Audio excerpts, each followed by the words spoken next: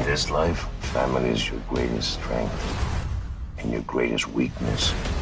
You got 24 hours to save your ass.